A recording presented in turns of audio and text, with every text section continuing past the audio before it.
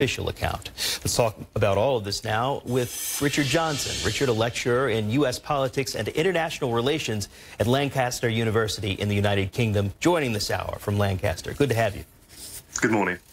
Uh, let's start with this row over personal email use. Uh, Representative Elijah Cummings saying that officials are using personal email for work. Also, Jared Kushner accused of using an encrypted app to talk to foreign leaders. Where do you see this going from here? Because it's reminiscent of the whole Hillary Clinton firestorm over a private server. You're right. It does bring back memories of the 2016 presidential election. What's at issue here is the Presidential Records Act, originally passed in 1978, but brought up into the 21st century in 2014 to include uh, uh, requirements about emails. And one of the expectations of that amendment to the Act was that people who are doing government business must do so on government emails. And if they don't, then those messages need to be forwarded in a timely manner.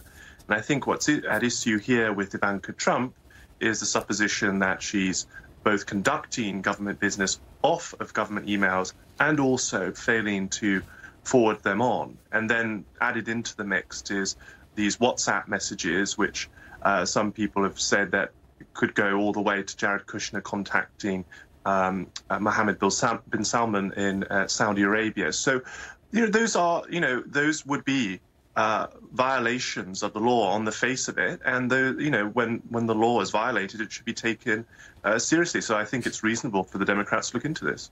Richard, uh, the Mueller report could drop any day now, and the White House is on high alert uh, as they get the first look. They could even apply executive privilege in some areas. How great of an advantage do you see that as they get to see it before anyone else? I think it could be a significant advantage, but maybe not a, a durable one. So what I mean by that is in the in the 1990s there was clarification that the attorney general would be able to screen special counsel reports uh, just to make sure that you know there wasn't anything that would have been uh, damaging for American national security, but there would be an understanding that if it wasn't something that would be you know damaging for the country's safety, then those findings would be released. Um, now, the Democrats, the key thing is the Democrats have taken control of the House and therefore have that all important subpoena power. So now the question is Does the Attorney General want to get in a fight with Democrats over handing over documents and them using the subpoena power?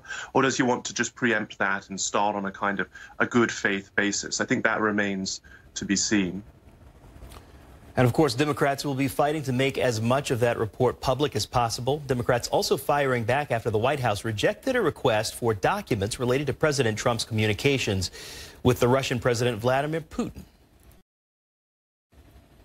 Yes, you know, I think what we're seeing now is we're seeing the consequences of the 2018 midterm elections. And I think that, you know, whatever else, you know, the Democrats try to do legislatively, I think that's going to be fairly limited. But I think where they can really um, cause some political damage to the White House and, and you know, exercise a degree of accountability that might not have been there before is by using these powers of investigation and subpoena in a proactive way. And we're, see, we're seeing that um, straight down the line.